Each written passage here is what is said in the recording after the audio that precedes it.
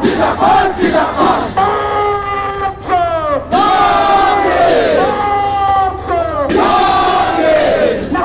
শ্বহীদ দিৱসৰ দিনাই মুখ্যমন্ত্ৰী গৃহ চহৰ ডিব্ৰুগড়ত কা বিৰোধী প্ৰতিবাদ। শতাধিক আছু কৰ্মীয়ে শ্বহীদ দিৱসৰ দিনাই জোৰ সমতলে কপালে ডিব্ৰুগড় চহৰ। আছু পুনৰ হুংকাৰ কোনো কাৰণতে মানি লোৱা নহ'ব নাগৰিকত্ব সংশোধনী আইন। বহু শতাধিক আছু কৰ্মকৰ্তাই বিশাল জোৰ সমতলে পুনৰ ডিব্ৰুগড়ত হুংকাৰ দিলে নাগৰিকত্ব সংশোধনী আইন বিৰোধিতা কৰি। আৰু চৰকাৰে এই আইন বাতিল নকৰালৈকে পূৰ্বতকৈ অধিক জংগী আন্দোলন চলাই নিব বুলি মন্তব্য আগবঢ়াই প্ৰতিবাদস্থলীৰ পৰা আছু কৰ্মকৰ্তাসকলে।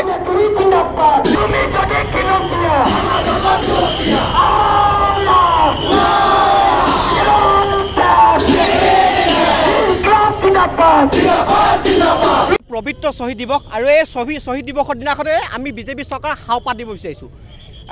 অসমৰ জনসাধাৰণৰ যিটো আহ্বান অসমৰ জন জনসাধাৰণৰ আহ্বান যোৱাটো বছৰ আছিল যে কাখন বাতিল কৰিব লাগে। সমগ্ৰ অসমত লাখ লাখ জনতা আহি কাখনৰ বিৰোধ কৰিছিল। কিন্তু এই বিজেপি চৰকাৰখনে এই ফেচিবাদী চৰকাৰখনে জোৰ জবজ কৰি অসমৰ জনসাধাৰণৰ মূৰত কাখন চাপি দিলে। আজি তাৰে এক বছৰ। তাৰ লগে লগে অসমৰ ভাষা সংস্কৃতি আৰু ঐতিহ্য পৰম্পৰা নিষেধ কৰি অসমীয়া জাতিটো এটা পংগু জাতিলৈ পৰিণত কৰিবৰ কাৰণে বিজেপি চৰকাৰখনে তেওঁলোকৰ কুট কৌশল আৰম্ভ কৰিলে ষড়যন্ত্ৰ আৰম্ভ কৰিলে। তাৰ আজি এক বছৰ। গতিকে মুখ্যমন্ত্ৰী সৰ্বানন্দ সোণোৱালে এই কা সময়তে পাঁচজন অসমীয়া যুৱকক তেওঁলোকে হত্যা কৰিলে।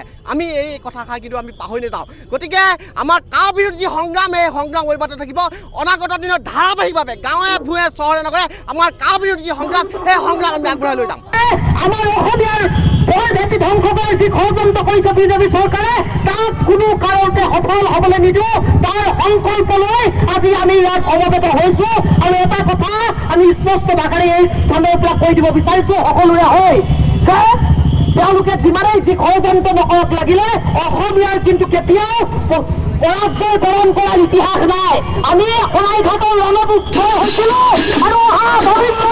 অৱশ্যে পৰৱৰ্তী সময়ত কেন্দ্ৰীয় তথা ৰাজ্য চৰকাৰে নাগৰিকত্ব সংশোধনী আইনৰ বিৰুদ্ধে কেনে স্থিতি গ্ৰহণ কৰে ই লক্ষণীয় হৈ ৰ'ব। আজি দহ ডিচেম্বৰ তাৰিখে আমি চৰকাৰক সোঁৱৰাই দিব বিচাৰিছোঁ। ইয়াৰ বিগত বছৰৰ দহ ডিচেম্বৰ তাৰিখলৈ তেওঁলোকে উভতি গৈ সোঁৱৰি চাব চাবৰ কাৰণে আমি আহ্বান জনাইছোঁ যে কেনেকৈ বিগত দিনত ডিব্ৰুগড় চহৰত সদৌ অসম ছাত্ৰ সন্থা আৰু খিলঞ্জীয়া অসমীয়া জনসাধাৰণে কেনেধৰণে কাৰ বিৰুদ্ধে আন্দোলন গঢ়ি তুলিছিল। গতিকে এটা কথা স্পষ্ট কথা অসমৰ খিলঞ্জীয়া জনসাধাৰণক সংখ্যালঘুত পৰিণত কৰিবৰ কাৰণে অসমীয়া জাতিটোক সংখ্যালঘুত পৰিণত কৰিবৰ কাৰণে যি কা জাপি দিব বিচাৰিছে আমি কোনো পধ্যে মানি নলওঁ। এই কা বাতিল কৰিবই লাগিব। ভাষাৰ নামত ধৰ্মৰ নামত ভাগ ভাগ কৰি খিল অবৈধ নাগৰিকক ইয়াত জাপি দিয়া কাৰ্য আমি কেতিয়াও মানি লোৱা নহ'ব। গতিকে এটা কথা স্পষ্ট অসম চুক্তি অনুসৰি অসমৰ জ্বলন্ত বিদেশী সমস্যাটো সমাধান হ'ব লাগিব। News desk report R V TV